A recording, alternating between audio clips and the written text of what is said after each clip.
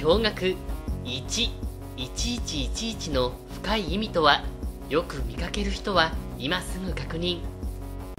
古来より数字は神秘的なものと考えられてきました。プラトンピタゴラスなど多くの哲学者がその神秘性の探求に当たってきました。特にピタゴラスは万物の本質を数字だと考えその数の法則によってあらゆる余地ができるとしました。こういった数字を神秘的なものとして捉える流れの中で心理学者のドリーン・バーチューが考案したエンジェルナンバーによると日頃私たちが些細な瞬間に見かける数字にはあなたが今最も必要としているメッセージが込められていると言います。デジタルの時計や車のナンバープレートレシートや切符などに記されている数字があなたにとって今とても重要な意味を持つのかもしれません。今回は1という数字にスポットライトを当てたいと思います。なんだか最近1という数字をよく見るな。気になるなという方は特にご覧いただけたらと思います。エンジェルナンバー1の意味。結論からお伝えすると1の意味は思考が現実化しやすいので極力前向きでいた方がいい。そんなメッセージだと言われています。1という数字は始まりの数字と考えられています。あなたの現実は全てここからスタートするのです。近頃新しく始めたことがあったりはしないでしょうか。理想に向けて進み始めたタイミングではないでしょうか。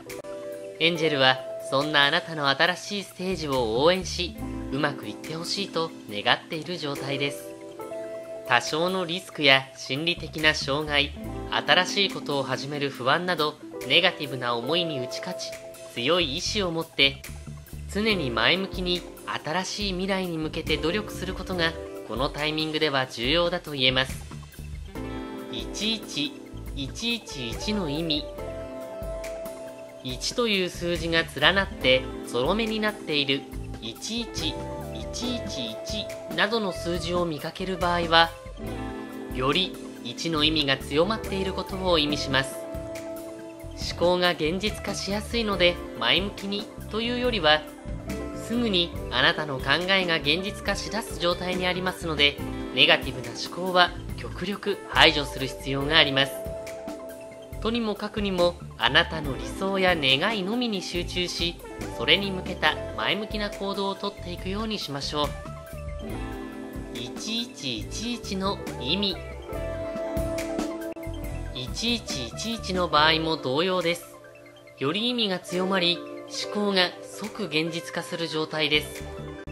1111はあなたに訪れた絶好のチャンスです。思考を通してあなたの理想の現実を描いていきましょう。まとめ。1という数字は始まりを意味し自立した個を通じて全体とも一つになるそんな数字です。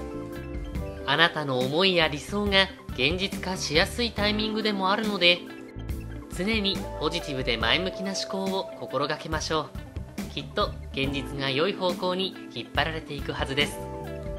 もしよかったら高評価ボタンチャンネル登録そしてコメントもお待ちしています。